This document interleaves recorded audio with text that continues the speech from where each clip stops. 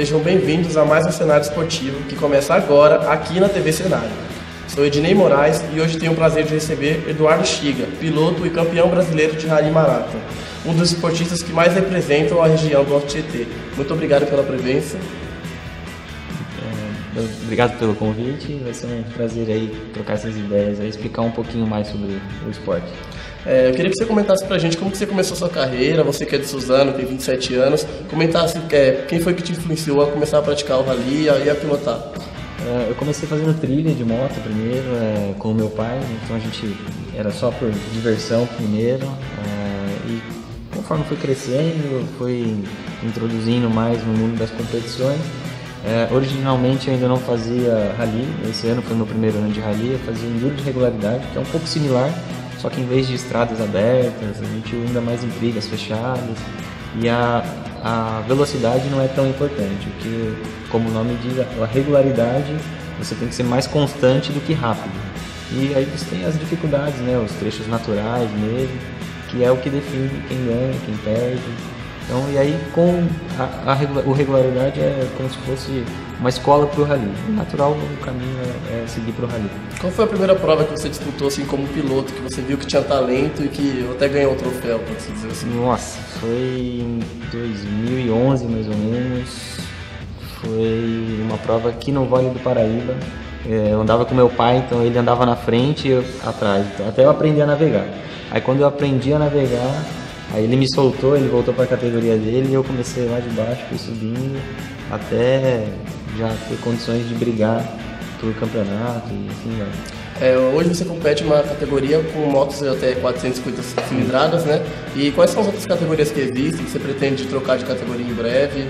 É, graças a Deus esse ano deu tudo certo, né? Então fomos campeões da categoria Marathon. O que é, muda são as condições da moto. Na Marathon, a, a cilindrada é 450 e o motor tem que ser original. Você não pode ter nenhum tipo de preparação específico no motor. Já a categoria que ano que vem eu vou ter que andar, né, por, por ter sido campeão nessa, já você já permite algumas alterações mecânicas. E por último tem a categoria Super Production, que essa já é a preparação livre, você já pode trocar outros componentes da moto que, é, que acabam fazendo muita diferença. É, você que é formado em gestão financeira, como que você concilia essa carreira extra da, das pistas, né? Ah, a gente acaba tendo que dividir um pouco em tudo ali, né? Durante a semana a gente, além do trabalho, foca um pouco na preparação física, mas não tem como focar 100% só no esporte. Os problemas da empresa, do dia a dia ali, é junto. Então tem que estar tá dividindo ali um pouco da atenção aqui, um pouco de atenção ali, né? Então é, é, um pouquinho difícil, mas a gente consegue conciliar.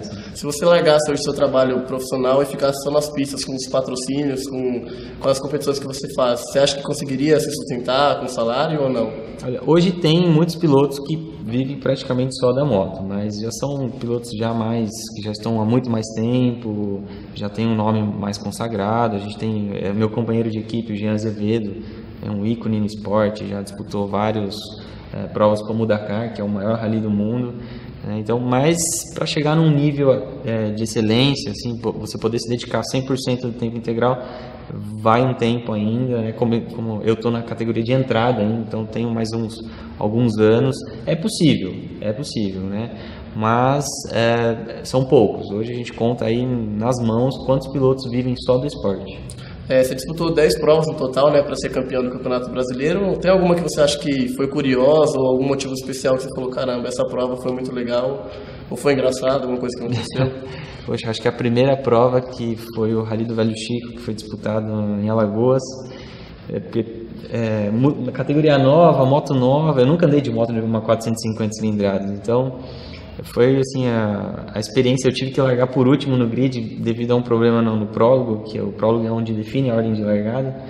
Então eu acabei tendo que largar atrás. Nossa eu tava numa ansiedade assim parecia que era a minha primeira primeira vez que eu tava subindo na, na moto mas uh, depois que largou aí já passa a ansiedade aí aquela tensão da competição já já deixa a gente fluir um pouco mais É, eu vi que você divulgou nas redes sociais algumas fotos das lesões que você sofreu passando pelo Rally dos Sertões. É, qual foi a etapa mais difícil para você? Você tinha comentado que talvez fosse a quinta ou a sexta etapa na edição do Jornal Cenário. Eu queria que você comentasse agora como foi a experiência de ter passado pelo Jalapão, pela etapa que foi muito longa, que foi chamada de maratona, né? Justamente foi essa etapa, a, a quinta etapa que eu acabei me lesionando. Tive uma, uma entorse no, no tornozelo, uma microfissura na, na tíbia. E a etapa maratona é uma etapa que são dois dias e nesses dois dias ele vale como uma etapa só. Então nós não temos apoio mecânico, qualquer problema, qualquer eventualidade na moto, o piloto tem que estar resolvendo ali e nós temos só apenas 30 minutos para fazer manutenção na moto. Então nesse dia, inclusive, eu tive um probleminha na parte mecânica, eh, a moto perdeu a partida, perdeu um pouco da compressão, mas deu para resolver. E isso foram 900 quilômetros juntando os dois dias. E é muito desgastante porque foi dentro do Parque Nacional do Jalapão, que é um trecho é, com muita areia, muita pedra, muita navegação. E naturalmente a gente já acaba se desgastando muito devido ao calor, a, a durabilidade, a duração do dia, desculpa. É, são dias muito longos, duros, então acaba o desgaste físico mental é, é incrível. Você já tinha um título de vice né, na, como navegador de carro. Qual foi a sensação de ganhar agora como piloto na, na categoria, no nosso primeiro ano como participando dessa categoria? É, carros, é, carros e UTVs, né? Foi em 2012, é o primeiro ano que eu fui. E é curioso, porque carro gente, entre os navegadores a gente brinca. Se erra, a culpa é do navegador. Se ganha, culpa, é mérito do piloto, né? Mas assim, é, foi muito especial ganhar agora de moto porque Uh, veio de uma preparação já desde o início do ano, o foco era os sertões, né? apesar de ter conquistado o título do brasileiro, mas é, é, é, muito comparável, né? quem ganha só os sertões, quem ganha só o brasileiro, graças a Deus consegui vencer os dois, Poxa, vencer de moto é especial, é, é, são pouquíssimos pilotos na categoria Marathon que têm condições de ficar entre os cinco na geral, né? conseguimos um terceiro lugar que acho que foi é, mais do que esperado, né? E porque a, a diferença de um motor da, da, minha moto, por exemplo, da, que é da uma categoria marathon para production e a super production, em termos de finais de reta, dá 30 km por hora, 40 km por hora. Então, enquanto a gente está andando ali a 150, 160, os produtos atingem velocidade até 190. E pegar um, algumas especiais que a gente teve é, retas de 40 km, é, então a diferença é muito grande. E a gente vai contando aí com a, com a sorte, com o azar. Isso vai variar muito.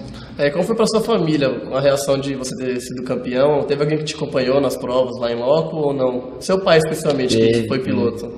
Eu tive o prazer do meu pai, inclusive ele fez aniversário lá, a gente fez uma surpresa para ele lá no dia também, cortamos um bolinho lá. E na última etapa, em Ponte Alta, no Tocantins, eu fui para o briefing, né, que é, é uma é reunião para a gente saber como vai ser o próximo dia. A organização passa os pontos de perigos tal. E quando eu voltei para o nosso box, eu, a minha esposa estava lá. Então ela saiu, ela não me avisou, fez uma surpresa, poxa, uma bela surpresa, porque nunca ia esperar, imagina, lá numa cidadezinha pequenininha do Tocantins. E é, eu cheguei no box, ela estava lá, aí jantamos todo mundo juntos lá, os mecânicos, cozinheiro, chefe de equipe e tal. E o meu pai dando todo o suporte, né? Ele viajou comigo já desde o começo do ano, ele me acompanhou em todas as etapas. Foi, é muito especial. E minha mãe na torcida, aqui, né? Porque mãe é mãe, não tem jeito. É, você acha que a falta de patrocínio ou a falta de investimento ela prejudica diretamente a vida do piloto? Prejudica muito. Né? Prejudica muito. Os equipamentos é, têm um custo muito alto. Né? Hoje, para você estar tá fazendo trilha, né? uma coisa é, simples, como se fosse uma partidinha de futebol, é, para o piloto estar tá tendo poder, é, poder aquisitivo para estar tá comprando uma moto, é, comprando equipamentos que a maioria são importados, a, o tributo em cima é muito, muito pesado. E isso interfere bastante. Então, quem tem condições de ter um patrocínio, que cons consiga dar um suporte é, financeiro ou mesmo em equipamentos, ajuda demais. Hoje, muitos pilotos não, não conseguem participar por falta de investimento. Essa parte logística de levar as motos, como foi feita? Tem algum patrocínio? Como que é feita a organização do, do evento? A, a, primeira, a primeira parte do campeonato, é, o Rally do Velho Chico e o Rally RN, que são as etapas mais longe que foram no Nordeste, é, a, eu como eu faço parte da equipe Honda Motofield, é uma equipe satélite da Honda. E tem a equipe Honda Racing, que é a Honda oficial. Então, como somos equipes co-irmãs, então a logística, a parte de transporte, apoio mecânico, nas primeiras etapas, toda a Honda disponibiliza. Então, a gente tem um caminhão oficina, um caminhão motorhome, é, onde todos os equipamentos dos pilotos vão tudo ali. E nos sertões aí a gente tem uma logística mais diferente. Eles têm, nós separamos os boxes, mas ficamos todos juntos ali. Mas aí tem, a gente tem o nosso motorhome, tem o nosso caminhão oficina e eles têm a, a parte deles. A Honda hoje é uma das maiores equipes aí do, do Brasil e do mundo. Né, participa tanto do Dakar como dos Sertões, outras provas no, no, no mundo. Eles fazem o campeonato mundial de rally então a estrutura deles é, é, praticamente completa. Hoje vai ter desde fisioterapeuta até nutricionista acompanhando em loco competi as competições. Você citou o Dakar. Você tem vontade de um dia participar do Rally Dakar? Olha, vontade não falta, mas assim o Dakar já é um outro patamar. O investimento é muito alto. A empresa que organiza é da França, né? Apesar do Dakar já tem alguns anos que é disputado aqui na América do Sul a, toda a organização toda é, ela é europeia. Então, assim, o investimento praticamente é tudo em euro. Então, é praticamente tudo triplicado. Para um sertões, você faz um investimento de 30, 40 mil reais. Se você já tiver uma boa parte dos equipamentos. Para um Dakar, você gasta em média de 500 mil. Então, é, é quem não tem patrocínio, quem não tem, realmente é, é puxado. Mas a vontade tem sim. Você citou a Honda, quais são os outros patrocínios que você tem hoje? Eu tenho, dentro da Honda nós temos a Motul, né? Temos a Honda Stinger, que é uma empresa de suplementação, tenho a Corona Racing, que faz produtos de suporte de moto, né? toda a parte de é, protetores e navegadores da moto. E temos a. Deixa eu ver aqui. IMS, que é, é muita coisa para cabeça que dá toda a parte de roupa pra gente. Entendi.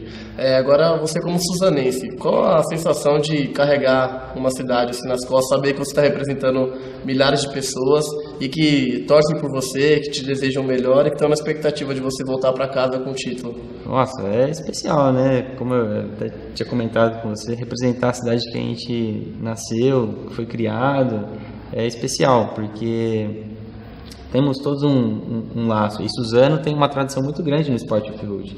É, já temos, dentro do enduro de regularidade, já temos vários títulos estaduais e nacional até.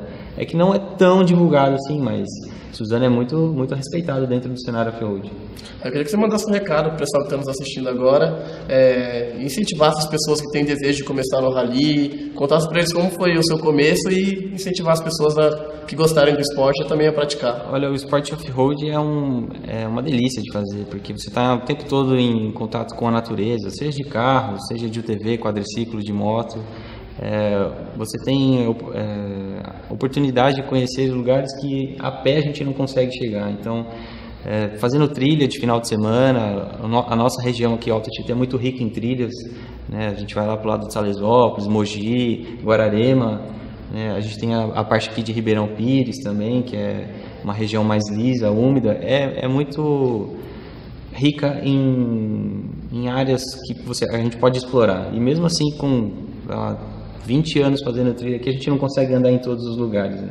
Então fica, fica o convite tá? ter o contato da natureza com os amigos, passar umas aventuras, uns apertos aí no meio do mato, faz, é, é divertido.